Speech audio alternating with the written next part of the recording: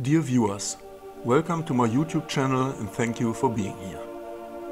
Today we take a spiritual journey together to Jerusalem's Church of the Holy Sepulchre, a holy place that contains the essence of the Christian faith. Jerusalem's three central Christian sites come together here. Golgotha, the site of Jesus' crucifixion, the stone of anointing where his body was prepared for burial, and the holy tomb from which the Savior rose.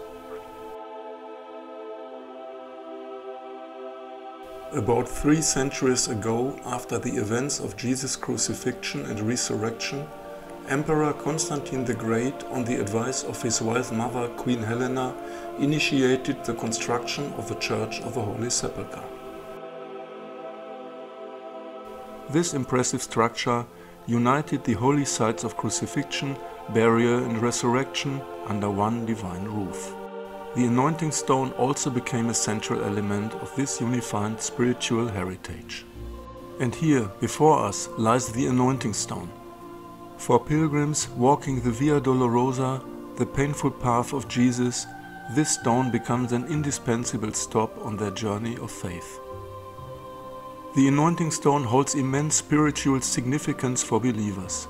Here Jesus was anointed, and then three days later, here Mary Magdalene became the first witness to the resurrected presence of Jesus. An event that symbolizes the victory over death through Jesus and gives all Christians the certainty that they can overcome death and experience eternal life. Amazingly, the anointing stone is the only place in the world where every believing Christian can consecrate objects independently without the intervention of a priest. Every day, thousands of pilgrims flock to this holy site to venerate the anointing stone, sprinkle it with rose water, or place their own crosses on it to receive divine blessing. It is especially recommended to visit the anointing stone early in the day when there are few pilgrims in the temple to experience the unique emotions of this fascinating place in its purest form.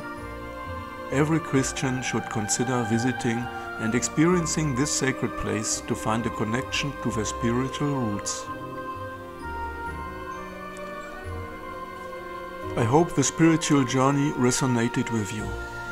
If you're interested in visiting more holy Christian places, I would be happy about your like and subscription.